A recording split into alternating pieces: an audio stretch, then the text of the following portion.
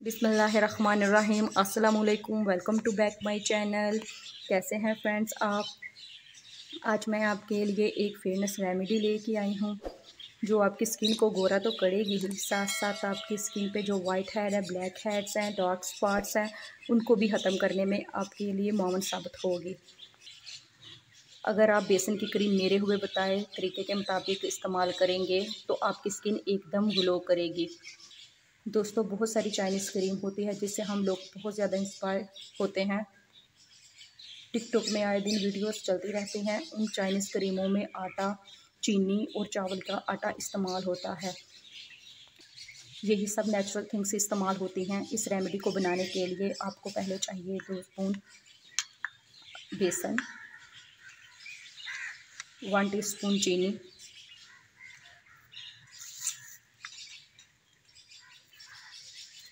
मैं इसको आपके सामने ही मिक्स करती हूँ।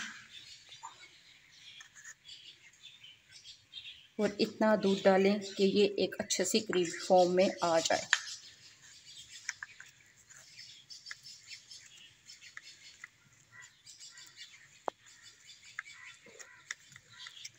आप इसे अपनी क्वांटिटी के मुताबिक ले सकते हैं। देखें, ये बहुत अच्छे से मिक्स हो गया है।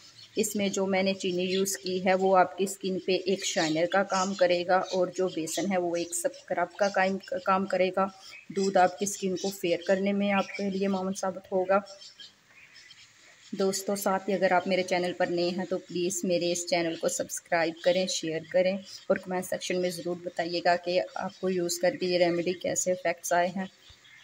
मैं आपको इसको अपनी स्किन पे अप्लाई करके एक रिव्यू दिखा देती हूँ। इसको सिंपली अपनी फिंगर टिप से लेके आस्तगी से अपने फेस पर अप्लाई करें।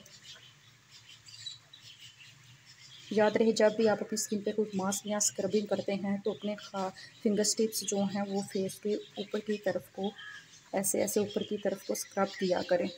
क्योंकि जो आपकी फेस के सेल्स होते हैं ओपन पोर्स वो क्लोज हो जाते हैं और आपकी स्किन नर्शिंग करती है।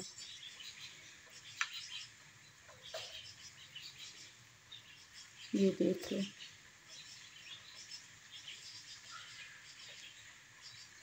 इसको आपने ऐसे ही टेन मिनट्स के लिए छोड़ देना है, कोई ज़रूरत नहीं, तीस या पैंतालीस मिनट के लिए। अक्सर देखा जाता है कि लोग जो रेमेडीज़ हैं वो फोर्टी फाइव या थर्टी मिनट्स के लिए कहते हैं कि इनको अपने हैंड्स पे लगा रहने दे, इतनी देर तो किसी के पास टाइम ही नहीं होता कि बंदा लगा के बैठा रहे। ये मैं यूज़ कर रही हूँ। दस मिनट तक वेट करें। दस मिनट के बाद मैं आपको इसका रिव्यू दिखाती हूँ। इसको वॉश करने का भी एक अपना ही मेथड है कि जब ये अच्छे से खुश्क हो जाए तो इसको हल्का सा दूध ले लेके अच्छे से इसी तरह सब स्क्रबिंग करें। अच्छी से जब स्क्रब हो जाए टेन मिनट्स तक तो फिर आप इसको सिंपल पानी की के पानी से वॉश कर लें। फ्रेंड्स ये देख लें। आपको खुद नज़र आ रहा होगा। कि ये मेरी स्किन कितनी स्मूथ हो गई है, कितनी शाइनी हो गई है। आप कहीं भी पार्टी पर जाते हैं, या शादी पर जाते हैं जस्ट पहले ये फेस पैक यूज़ कर लें, जिससे आपकी स्किन बहुत ही ग्लो करेगी। नेक्स्ट वीडियो के लिए दे इजाज़त, मिलते हैं, अल्लाह हाफिज़।